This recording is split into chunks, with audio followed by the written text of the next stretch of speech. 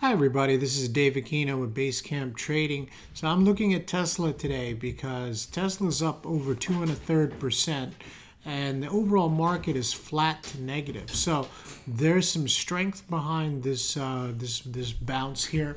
We had a three-day consolidation. Today we've bounced higher.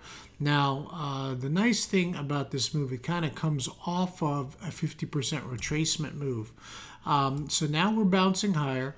I just wanted to give you a couple of targets to the upside. The first target is the eight day EMA, um, and uh, it is uh, running into a little bit of resistance right uh, it, it should be able to move higher into this 331 and a half level if it manages to break above that and through that, the next target is the 50 day EMA, which is currently uh, 336.80. So I would say let's round this up. 331 is the first target, 337 is the next target.